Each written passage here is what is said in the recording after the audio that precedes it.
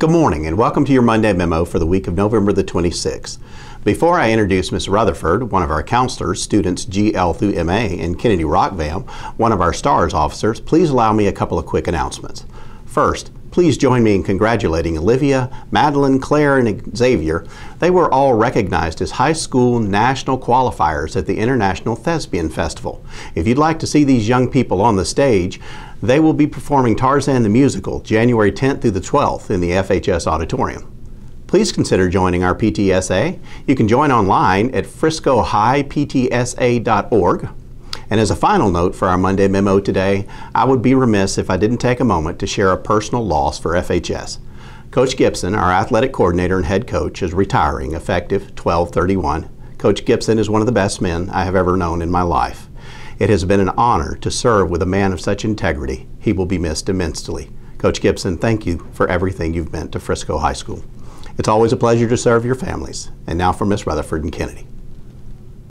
Good morning and welcome back. My name is Miss Rutherford and I have students last names GL through MA and with me today I have Kennedy Rockvam, one of our STARS officers. Kennedy will take us through the weekly calendar.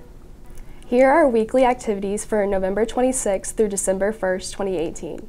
Tuesday, basketball girls will be playing against Heritage at Heritage. Basketball boys will be playing McKinney North at FHS.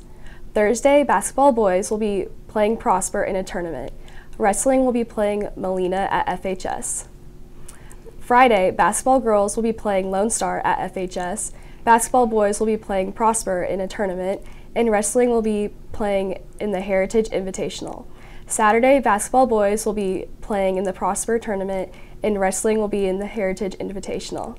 Now to Ms. Rutherford for announcements.